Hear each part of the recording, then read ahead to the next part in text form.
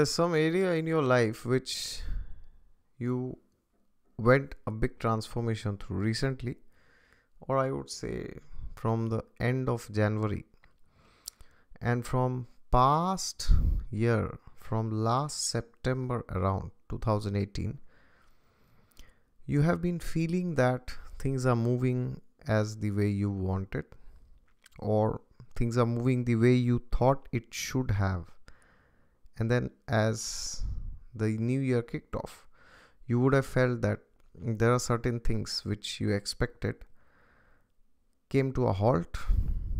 And then there was massive transformation during the end of January month. And finally you thought that you were victorious in all your efforts. But do you still feel that you have not seen the results manifesting at a concrete level? Okay so if that's happening to you then hold on you're not alone. Everybody is there because venus has transited into dhanishta nakshatra just and it's going to stay there uh, almost till 26th or 27th of this month march 2019 now this is a very short transit but why am i making a video on this? Because although it's short it's a very important transit. So what's happening is and yes if you are new and you have not yet subscribed then please subscribe. And if you like this video click the thumbs up and watch my other videos which i have made on transit on the jupiter's gandanta transit that has got around 18k views i guess in a very short time. So if you have not watched it you could watch it and also the Rahu Ketu transit video many people have been asking me that has also got around 48 49,000 views. So if you have not watched that then please watch it okay? It's important to watch these two videos. All right so now what's happening is or let's see what actually happened long back. So September last year Venus entered its Mool Trikon sign of Libra. So when Venus entered Libra it came into a very good dignity. Dignity means the avastha as they say.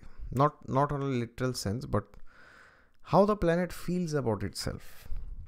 So when a planet goes into mool trikon it feels as if it is in a very good place. It's exactly where he should be.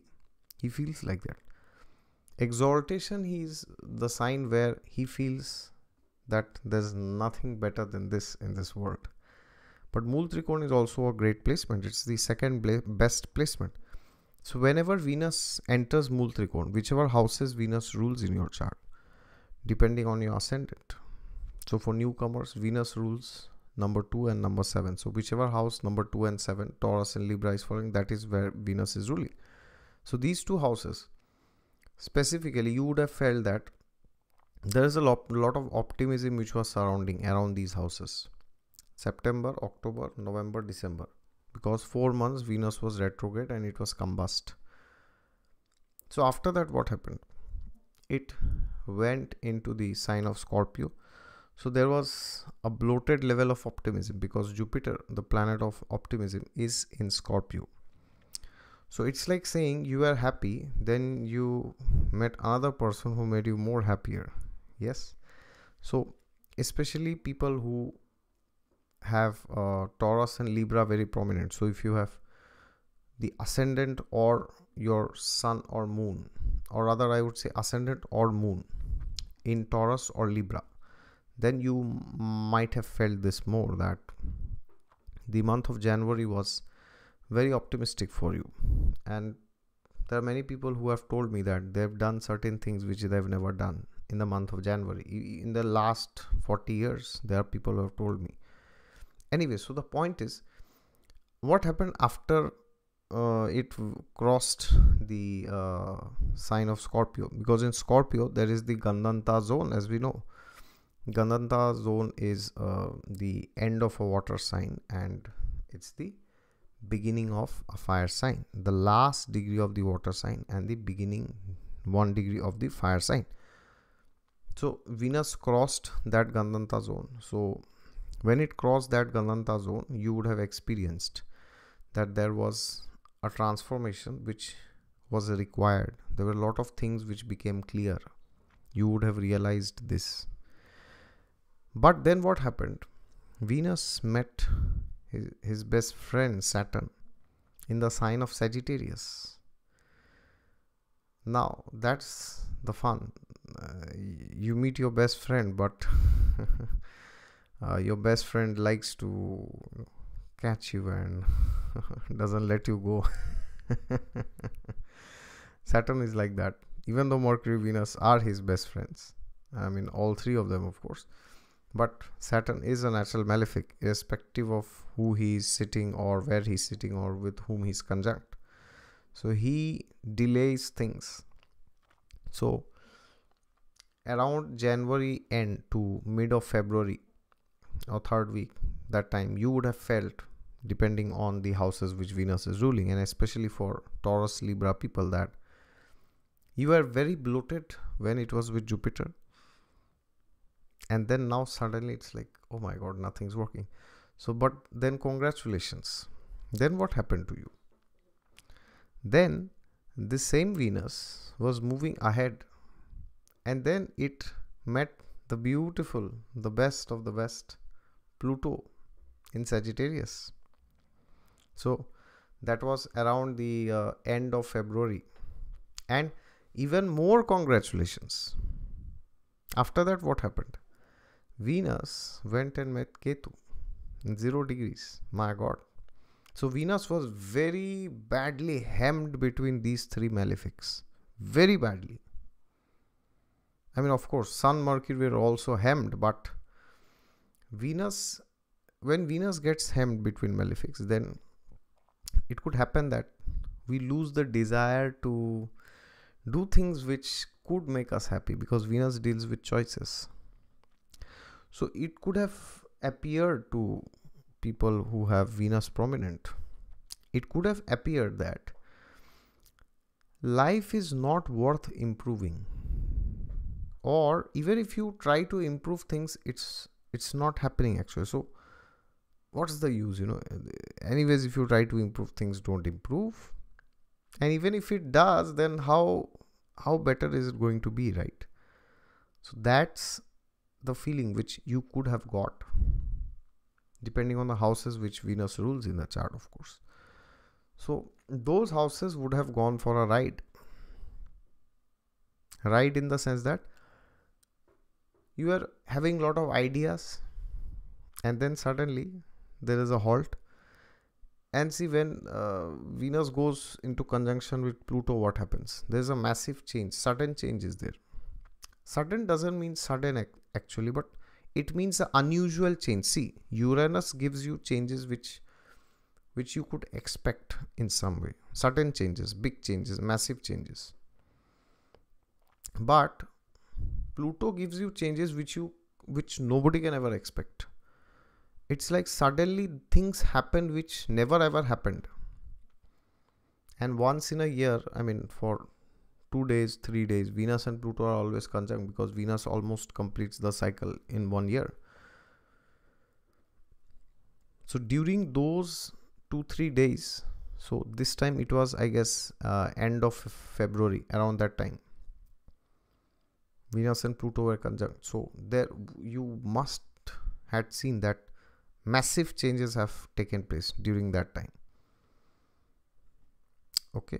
Externally it may not be the, the way but internally it would have definitely happened. I have messages i can show you. People have messaged me that oh my venus is 10th lord this thing happened in my career. Exactly on that date happened.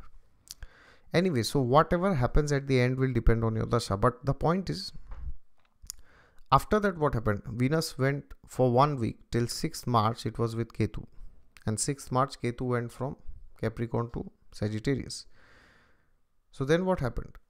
So when Venus met Ketu there, Ketu, see, Saturn tells you that your expectations may not be fulfilled. And Ketu tells you, even if it is if it, if it's fulfilled, so what? so that is why I said life felt that it's not worth living for.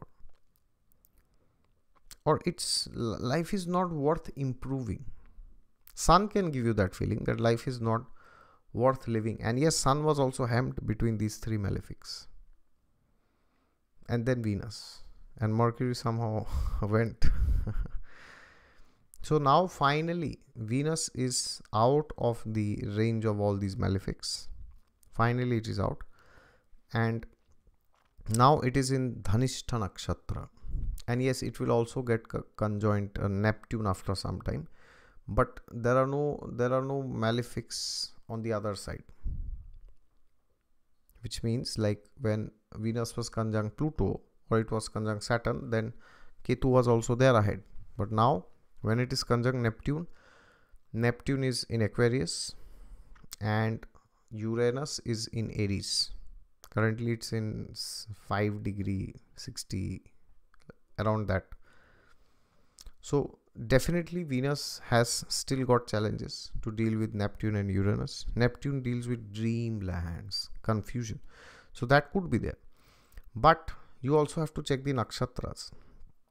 So venus has crossed from swati nakshatra. Swati nakshatra deals with materialistic desire which is endless endless desire. That's vayu everywhere. And then you go to vishaka where you see the concrete manifestations of your desires.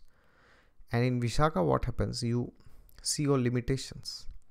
Because you may want to eat 10000 gulab jams but you can't eat.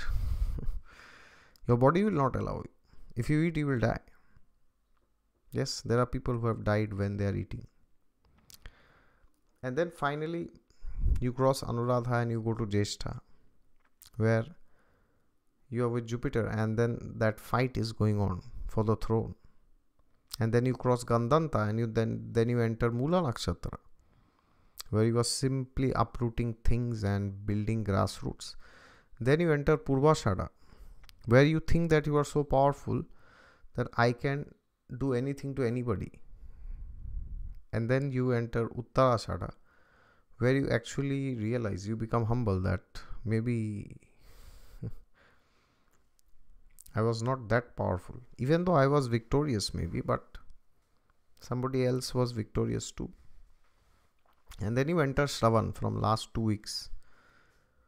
What happens in Shravan? Shravan gives you that peace of mind which you lost Shravan Nakshatra settles down things. And Dhanishta gives you the opportunity to celebrate. So now is the time because Venus is out of these three malefics Saturn, Pluto, and Ketu. Although still there are planets like uh, Uranus and Neptune, Neptune and Uranus on the way, I mean.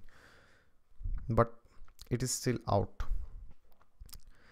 And that is why now Dhanishta Nakshatra has connotations related to drums, Lord Shiva. So you could see that people who have Venus prominent, they could they could have a tendency to worship Lord Shiva. Now, irrespective of that, you will see that now is the time when you can actually relish some of the things which you wished. But here is the catch Mercury is retrograde and it has entered Purva Bhadrapada Nakshatra. So Purva Bhadrapada is a very interesting nakshatra. Purva Bhadrapada, in one sense, it deals with the frustration which you get when your expectations are not met. So Purva Bhadrapada can teach you how to lower your expectations because the amount of frustration is directly proportional to the amount of expectations the more you expect the more you get frustrated. Because people will make you frustrated. They will disappoint you in your expectations.